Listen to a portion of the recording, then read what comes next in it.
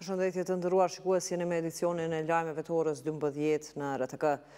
Presidentja e Komisionit Evropian Ursula von der Leyen ka thënë se shtetet e Ballkanit Perëndimor, por edhe Ukraina, Gjeorgjia dhe Moldavia duhet të bëhen pjesë e familjes evropiane. Pa këto shtete, unioni nuk do të jetë i kompletuar, ka thënë von der Leyen, në fjalimin vjetor në Parlamentin Evropian. Honorable members, they say. Presidentja e Komisionit Evropian, Ursula von der Leyen ka porositur se Unioni nuk do të jetë i kompletuar pa vendet e Ballkanit Perëndimor. Në fjalimin rreth gjendjes në Bashkimin Evropian, von der Leyen ka nënvizuar se shtetet e rajonit, si dhe Ukraina, Gjeorgjia dhe Moldavia, do bëhen pjesë e familjes së përbashkët evropiane. Ursula von der Leyen u shpreh në favor të formimit të Bashkësisë Politike Evropiane, duke cilësuar se duhet të afrojmë shtete të kontinentit evropian përtej procesit të anëtarësimit. Tash është koha për të investuar në forcën e demokracisë. Kjo punë nis me grupin bazë të partnerëve që mendojnë si ne, me miqtë tanë në secilin komb demokratik në botë. Magdalena, stand up! Ne e shohim botën me të njëjtit sy dhe ne duhet të mobilizojmë fuqinë tonë kolektive, ka thënë von der Leyen, duke shtuar se mënyra më e shpejtë për të zgjeruar sundimin e demokracisë është të forcohen lidhjet me vendet demokratike në kontinentin evropian. Bashkësia Politike Evropiane ndryshe është iniciativë e presidentit francez Emmanuel Macron, Sipas propozimit francez, në këtë bashkësi, e cila do të duhej të formohej gjatë këtij viti, do jenë pjesë të gjitha shtetet e kontinentit të cilat dëshirojnë t'i bashkangjiten vlerave të përbashkëta. Në këtë rrafsh planifikohet që pjesë e kësaj bashkësie të janë edhe vendet e rajonit. Për këtë iniciativë, liderët evropianë tashmë kanë diskutuar në takimin e qershorit ndërsa diskutimet konkrete në lidhje me formimin e Bashkësisë Politike Evropiane do zhvillohen në samitin e gjashtë tetorit në Pragë. Në këtë samit në mes tjerash do marrin pjesë edhe liderët nga shtetet e Ballkanit Perëndimor. Qeveria ka miratuar projektligjin për Institutin e krimeve të kryera gjatë luftës në Kosovë. Kryeministri Kurti tha me këtë rast se vetëm me respektimin e së kaluarës mund të ketë një të ardhme të ndritur. Në mbledhjen e qeverisë u miratua edhe projektligji për themelimin e Agjencisë për Siguri Kibernetike, i cili do të koordinojë dhe monitorojë aktivitetet për siguri kibernetike. Gjithashtu janë miratuar edhe dy projektligje të rëndësishme, ai për Prokurorinë e Shtetit dhe ai për Prokurorinë Speciale. Do të ndjekim në vazhdim një deklaratë të kryeministrit Kurti nga mbledhja e Qeverisë. Në vetëm një të tretën e mandatit kemi kaluar mbi njëqind e pesëdhjetë projektligje. Ndërkaq në gjysmën e parë të këtij viti janë miratuar tetëdhjetë e shtatë sosh në Kuvendin e Republikës. Përmes projektligjeve të miratuara Kemi fuqizuar mekanizmat për luftimin e krimit dhe të korrupsionit nëpërmjet reformës në Këshillin Prokurorial, deklarimin më efikas dhe transparent të pasurisë, potencimin e rolit parandalues të Agjencisë Kundër Korrupsionit dhe inicimit të konfiskimit të pasurisë së pajustifikueshme.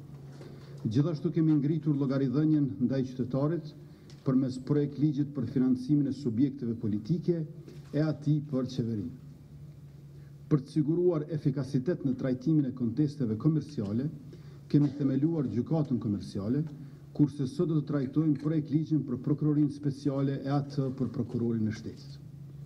Përveç Vetting-ut si reformë thelbësore në sistemin e drejtësisë, të cilën ia kemi besuar përfaqësuesve të popullit, Vazhdojmë me trajtimin e temës nga e cila varet stabiliteti e kohezioni social. Me gjashtë vota për është proceduar në Kuvend draftligji për parandalimin dhe mbrojtjen nga dhuna në familje, dhuna ndaj grave dhe ajo në baza gjinore. Anëtarë të këtij komisioni thanë se ky ligj do të ndihmojë sistemin e drejtësisë dhe do të mundësojë mbrojtjen e të drejtave të grave. Anëtarët e komisionit kërkuan që të ftohen në raportim nga Këshilli Gjyqësor dhe ai Prokurorial për rastin e dhunimit të njëmbëdhjetëvjeçares. Ata dhanë sugjerimet dhe komentet e fundit për draftin final të projektligjit. Deputetët thanë se është i rëndësishëm sa më shpejt miratimi i këtij ligji. Drejtori ekzekutiv i Odës Ekonomike Amerikane, Arian Zeka, tha se pakoja e ndihmës sociale nga qeveria nuk i zgjidh problemet ekonomike që i ka shkaktuar rritja e inflacionit. Në Mirëmëngjesi Kosovë, në RTK, Zeka tha se zgjidhja për këtë situatë do të duhej të ishte ngritja e pagave. Nëse inflacioni kaq i lartë ka ndikuar në tkurjen e fuqisë blerëse, atëherë natyrisht që kjo fuqi blerëse do duhej të relativizohej, tkurja e fuqisë blerëse do duhej të relativizohej përmes ngritjes së pagave. Ky në një përqindje të caktuar. Po flasim për sektorin publik, sektori privat në anën tjetër do duhej të maste kapacitetet e veta dhe të përgjigjej me të njëjtën, me të njëjtën masë mbrenda, mbrenda mundësive. Po dhënia e ndihmave të tilla në shumë të njëjtë, të barabartë për të gjithë, natyrisht që nuk është masa më më e duhur dhe masa më e mirë e mundshme, as më tepër për, për disa prej kategorive sociale, të cilat nuk e di se ku do t'i shpenzonin ato ato mjete. Prandaj kemi edhe situata të tilla të pakënaqësive sociale brenda sektorit publik, brenda sektorit të edukimit, i cili për momentin reflekton në këto greva edhe pamundësinë e nxënësve që të vijojnë mësimin nga shtatori e tutje. Ndërkohë greva e përgjithshme në administratë dhe në sistemin e arsimit po vazhdon edhe pas takimeve që u zhvilluan në fundjavë dhe gjatë ditës së djeshme për ndërprerjen e saj. Të dyja palët, sindikatat dhe qeveria kanë fajësuar njëra-tjetrën për mosreflektim. Kreu i SBASHK-ut, Rrahman Jasharaj, tha se në takim i kanë paraqitur edhe një herë qëndrimet e tyre, por që qeveria nuk ka ofruar një zgjidhje për kërkesat e tyre. Kurse në një konferencë për media, kryeministri Kurti bashkë me ministrat Murati e Nagavci dhanë detaje nga takimi. Kurti tha se si qeveri kanë lëvizur së paku dhjetë herë në plotësimin e kërkesave, teksa njoftoi se edhe për projektligji për paga pritet të vijë në diskutim gjatë kësaj jave. Në dhomat e specializuara në Hagë vazhdon edhe sot procesi gjyqësor ndaj Salih Mustafës me deklaratat përmbyllëse të prokurorit.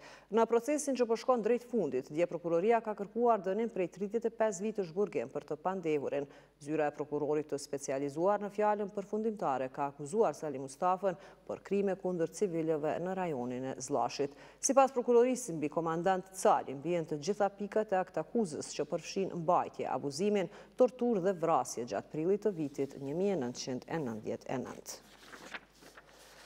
Qeveria ka njoftuar se pavarësisht sulmeve kibernetike që kanë ndodhur gjatë dy ditëve të kaluara, në asnjë moment nuk janë cenuar të dhënat e ruajtura në Qendrën Shtetërore të të Dhënave në kuadër të institucioneve dhe se të gjitha shërbimet qeveritare janë plotësisht të qasshme dhe nuk ka pengesa në funksionimin e tyre. Sipas njoftimit, ekipi i sigurisë kibernetike në Agjencinë e Shoqërisë së Informacionit, së bashku me ekspertë të jashtëm, është angazhuar maksimalisht që sulmi në qasshmërinë dhe funksionalitetin e shërbimeve të jetë sa më i vogël. Gjatë ditës është bërë e ditur se sulme kibernetike ka pasur edhe në Postën dhe Telekomin e Kosovës. Policia ka arrestuar një person në fshatin Rracaj të Gjakovës për kultivimin e marihuanës. Gjatë kontrollit, policia ka gjetur 33 bimë kanabis sativa në arën e tij dhe një sasi tjetër marihuanë duke u terur në dhomën e shtëpisë. Policia ka bërë të ditur se gjatë kontrollit në oborrin e tij, përkatësisht tek ara me misër janë gjetur të kultivuara tridhjetë e tri bimë narkotike të llojit Cannabis sativa, me gjatësi prej njëqind e nëntëdhjetë centimetra deri në dyqind e nëntëdhjetë centimetra. Pothuajse njëqind pjesëtarë të forcave të armatosura janë vrarë gjatë luftimeve të fundit përgjatë kufirit mes Armenisë dhe Azerbejxhanit. Të dyja vendet kanë akuzuar njëra-tjetrën për luftimet e fundit. Sekretari i Përgjithshëm i OKB-së ka kërkuar nga palët që të përmbahen dhe që mosmarrëveshjet t'i zgjidhin përmes bisedimeve.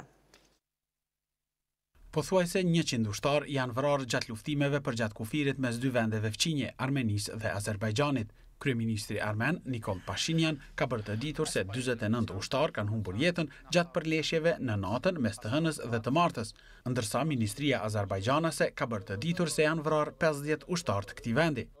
Të dy vendet kanë akuzuar njëra-tjetrën për valën e fundit të dhunës. Armenia pretendon se disa qyteza të saj përgjatë kufirit janë granatuar nga Azerbajxhani dhe se u është përgjigjur këtyre provokimeve, ndërsa Azerbajxhani ka thënë se fillimisht ai është sulmuar nga Armenia. Rusia ka bërë të ditur se ka ndërmjetësuar armëpushimin mes palëve, i cili thuhet se ka hyrë në fuqi mëngjesin e së martës. Zëdhënësi i Kremlinit, Dmitry Peskov ka thënë se vetë presidenti Putin ka qenë ndërmjetësues për çështjen e armëpushimit.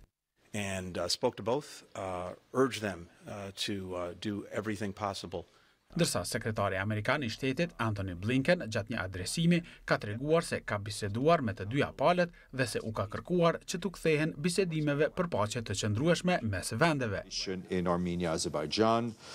Përmes zëdhënësit të tij ka reaguar edhe Sekretari i Përgjithshëm i OKB-së, Antonio Guterres, i cili ka thënë se është i shqetësuar për rifillimin e konfliktit përgjatë kufirit armeno-azerbajxhanas. Guterres u ka bërë thirrje palëve që ta qetësojnë situatën dhe të përmbahen, ndërsa çfarëdo çështje ta zgjidhin përmes dialogut. Konflikti mes këtyre dy vendeve lidhet me rajonin e Nagorno-Karabahut. Ky rajon, sipas kufijve të njohur ndërkombëtarisht, është pjesë e Azerbajxhanit, por që është i populluar nga armenët. Të dyja këto vende dikur ishin pjesë e Bashkimit Sovjetik. Mosmarrëveshjet për rajonin e Nagorno-Karabahut kanë çuar në dy luftëra të hapura gjatë viteve të tetëdhjeta dhe nëntëdhjeta. Një luftë gjashtëjavore mes dy vendeve ka ndodhur edhe në vitin dy mijë e njëzet. Pesë persona kanë humbur jetën si pasojë e shembjes së një ndërtese banimi në Aman të Jordanisë. Ekipet emergjente po kërkojnë për të ngujuarit, pasi sipas disa raporteve në momentin e shembjes brenda ndërtesës ishin njëzet e pesë persona. Pesë persona kanë humbur jetën, ndërsa katërmbëdhjetë janë lënduar si pasojë e shembjes së një ndërtese banimi katërkatëshe në Aman të Jordanisë. Kjo ndërtesë ka qenë në pjesën e vjetër të qytetit. Ekipet e shpëtimit i kanë evakuuar personat të cilët kishin mbetur të ngujuar nën gërmadhat e ndërtesës së shembur, ndërsa kanë vazhduar kërkimet për ndonjë të zhdukur eventual. Nuk dihen shkaqet e shembjes së ndërtesës. Në vendin e ngjarjes ka dalë edhe kryeministri jordanez, Bisher al-Khasawneh, si dhe anëtarë tjerë të kabinetit. Kryeministri ka urdhëruar zhvillimin e hetimeve për shkaqet e shembjes së ndërtesës, ndërsa sipas disa zyrtarëve, shkak ka qenë mungesa e mirëmbajtjes. Sipas disa raporteve, brenda ndërtesës, në momentin e shembjes kanë qenë të paktën njëzet e pesë persona. Të nderuar shikues me informacionet nga bota po e përmbyllim këtë edicion të lajmeve ju falenderojmë për vëmendjen mirupafshim